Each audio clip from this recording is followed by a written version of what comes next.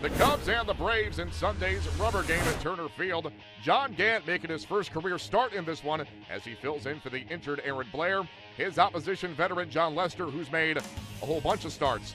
But Gant finds some trouble in the top of the first. The Cubs have runners at first and second, only one away. At the plate is Anthony Rizzo. Right field corner, fair trot home. Bryant is going to be stopped by Gary Jones. It's a double for Anthony Rizzo, and the Cubs lead one to nothing. And we've got two on, back-to-back singles. Bring up Jeff Francoeur. Last year with the Phillies and now back with the Braves. Runners go, throw goes to second, and it's going to get into center field as Zobrist lost his glove in the process, and the Braves tie it up. The big hitter right now, David Ross, with Lester on deck. Two on with one away. Tie game, fourth inning. Here's the 0 2. Ross loops one shallow right field. Coming in is Mark. That ball's a base hit. The ball is bobbled. Coghlan's going to try to score. The throw to the plate, the slide. He scores. Going to third safely is Baez. Bloop RBI single David Ross.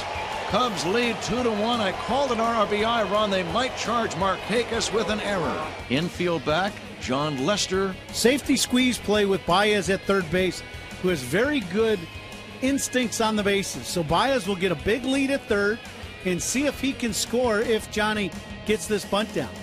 Lester is showing bunt. Bunts toward first. Baez trying to score. The throw will go to first base. The run is in. Cubs lead 3 to 1. Lester with a bunt. The safety squeeze. Excellent base running by Baez. Infield in. Ground ball base hit. David Ross makes it 4 to 1. And that is a milestone, his 300th career RBI.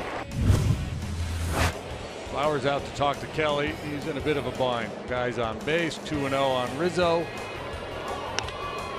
Ground ball base hit. Here comes Heyward.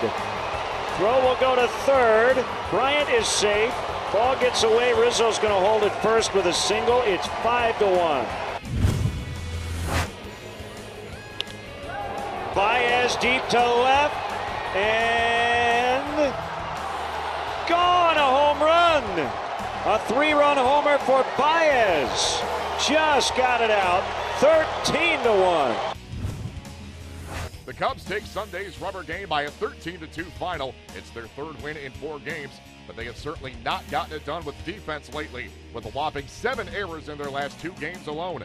Jon Lester turns in seven innings with just one unearned run, recording his major league leading 10th start this season with no more than one earned run allowed.